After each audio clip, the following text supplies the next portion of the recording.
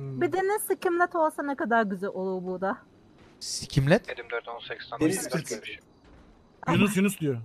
Yunus ne Yok, alaka? ya? Yunus bisiklet var ya. Yok Ha, deniz deniz- bisikletleri var. Evet, deniz, Ha deniz sikimlet. bisikleti. Ha. Evet. Sikimlet. Ha tamam. Deniz bisikleti. O kadar çok konuştuğum bir şeyim anca alışabilirsin. Deniz bisikleti evet güzel olur ama 19 dönmesi zor olabilir burada. Ay bir şey söyleyeyim? Verandada da Ne oluyor. Verandada sikişiriz mi? No, ne oluyor lan? Ve Bizde Gel bak buraya. Beste Hanım. Beste Hanım. Kamuya açık bir yer burası. Beste Hanım.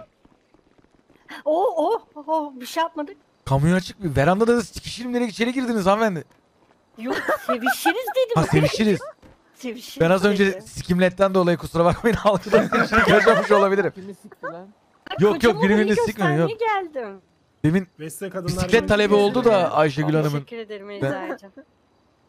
Bisiklet mi? Buraya için mi? ha, Deniz bisiklet. sikimlet.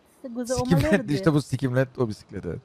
Denizde mi? Burada mı? A- anlamadım. Yunus ya kadar Bisiklet bisiklet hayır suda şey var ya böyle Ben pedallı. de dedim. Tabii Yunus lan. dedim de anlamadılar. Yunus Anladım. he bak Cemal komiser biliyor ya. Siz nerelisiniz oğlum da Yunus? Abi Adanalıyız. Sevgi Adası'na Sakarya'da da Sakarya'da da vardı şefim. Tamam. Evet. Ben İzmir'de İzmir'de şey. Ku. Deniz bisikleti. Cool. Bu ya. Adana'da Yunus. Yunus. Biz ona Bu